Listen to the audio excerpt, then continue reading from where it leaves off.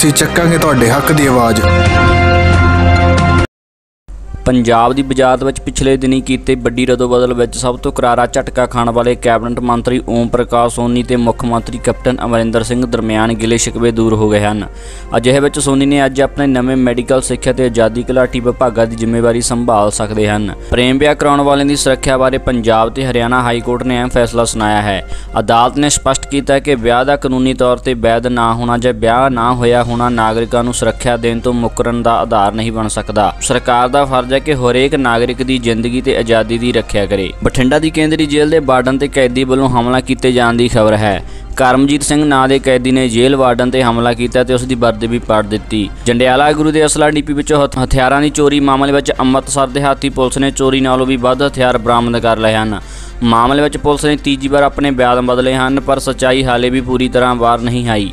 ਹਮੇਸ਼ਾ ਵਿਵਾਦਾਂ ਵਿੱਚ ਰਹੇ ਸਿੱਖਿਆ ਮਹਿਕਮੇ ਦੀ ਕਮਾਨ ਹੁਣ ਵਿਜੇ ਇੰਦਰ ਸਿੰਗਲਾ ਕੋਲ ਹੈ। ਪਿਛਲੇ ਦਿਨੀ ਅਹੁਦੇ ਸੰਭਾਲਣ ਮਗਰੋਂ ਕਾਫੀ ਸਰਗਰਮੀ ਵਿਖਾ ਰਹੇ ਹਨ। ਉਹਨਾਂ ਦੇ ਸਾਹਮਣੇ ਸਭ ਤੋਂ ਵੱਡਾ ਮਸਲਾ ਬਦਲੀਆਂ ਦਾ ਹੈ। ਅਕਸਰ ਹੀ ਬਦਲੀਆਂ ਨੂੰ ਲੈ ਕੇ ਸਰਕਾਰ ਉੱਪਰ ਭ੍ਰਿਸ਼ਟਾਚਾਰ ਤੇ ਪੱਖਪਾਤ ਦੇ ਇਲਜ਼ਾਮ ਲੱਗਦੇ ਰਹਿੰਦੇ ਹਨ। ਮੁੱਖ ਮੰਤਰੀ ਕੈਪਟਨ ਅਮਰਿੰਦਰ ਸਿੰਘ ਨੇ ਕੈਨੇਡਾ ਦੀ ਧਰਤੀ ਤੇ ਖਾਲਿਸਤਾਨੀ ਲਹਿਰ ਨੂੰ ਹਵਾ ਦੇਣ ਦੇ ਦੋਸ਼ ਲਾਉਂਦਿਆਂ ਟਰੂਡੋ ਸਰਕਾਰ ਦੀ ਤਿੱਖੀ ਆਲੋਚਨਾ ਕੀਤੀ ਹੈ। ਕੈਪਟਨ ਨੇ ਕੇਂਦਰ ਦੀ ਮੋਦੀ ਸਰਕਾਰ ਨੂੰ ਵੀ ਅਪੀਲ ਕੀਤੀ ਹੈ ਕਿ ਉਹ ਕੈਨੇਡਾ ਸਰਕਾਰ ਤੇ ਆਲਮੀ ਪੱਧਰ ਤੇ ਦਬਾਅ ਪਾਇਆ ਜਾਵੇ।